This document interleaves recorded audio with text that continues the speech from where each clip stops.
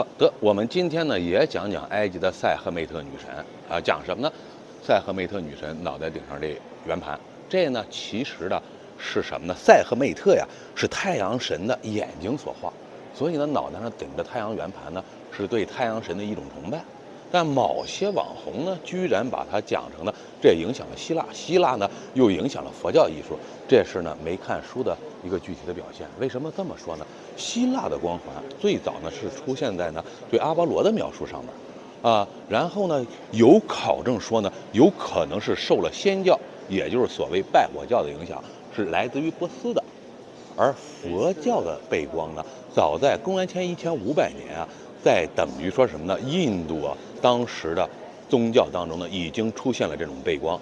后来呢，它影响到佛教，而且佛教的背光呢，和这个含义是不一样的。